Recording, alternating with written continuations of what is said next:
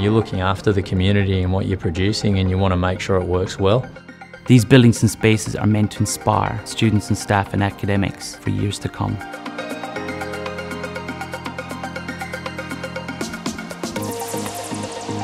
UNSW aspires to top 50 global ranking. We've identified three keys to help us achieve that through academic excellence, social engagement and global impact.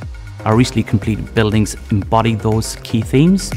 Collaboration with these type of buildings are very, very important. Multiplex has been on the University of New South Wales campus for 10 years. We've been able to deliver eight buildings in total.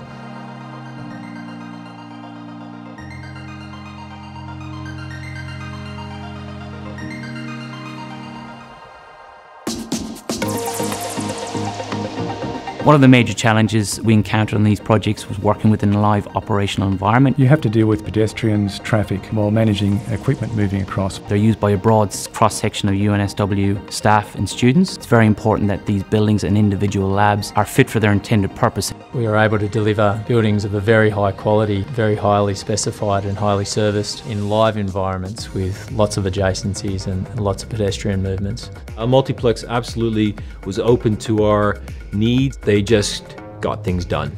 We've been able to add value through a variety of ways. Facades in particular, how we build accelerated programs and also off-site procurement and prefabrication of services.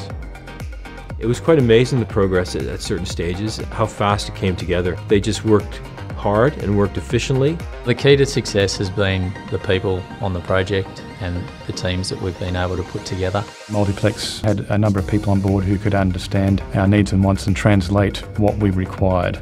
Personal relationships in this sort of thing is important. It's hugely important actually. We met almost on a daily basis to walk through various areas, to discuss plans, to discuss implementation of plans. There's a lot of communication involved in that. All of our stakeholders, our divisions, schools, lab managers, their needs are met in the final outcome.